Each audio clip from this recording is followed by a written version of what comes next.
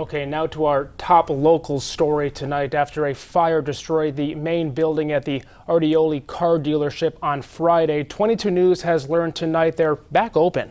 22 News reporter Kate Wilkinson is live in Springfield with how the family owned business in Enfield is making it happen. The owner said it's been a busy weekend trying to get everything back and rolling, but they're already serving customers once again.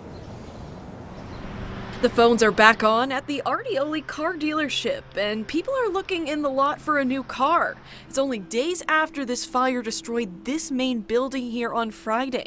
No one was hurt, but this is what's left. Bob Artioli is a second generation owner. He said the hardest part has been getting service and parts back and running. We have a couple of separate buildings uh, right around here where we're able to set up new lifts um, and get that up and running by uh, Tuesday after Memorial Day weekend. They're planning to tear down this building soon and replace it with a new one. But Bob said that this place, it's a family owned site and it carries a lot of memories for him.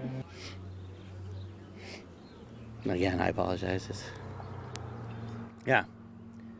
You know, since I was, you know, five years old, I was here, you know, with the guys washing cars, sitting on the stoop with the parts guys, uh, the salesman playing football with me with a little pay. You know, I, I grew up here. Bob said insurance has been cooperative and he feels confident it will be able to cover the costs to rebuild and cover employees. What he's truly amazed by, how members of the community have reached out to help.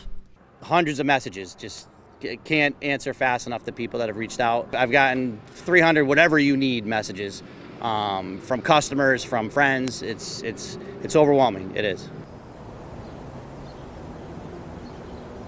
The cause of the fire is still under investigation by both the local fire department there as well as the Connecticut State Fire Marshal's Office.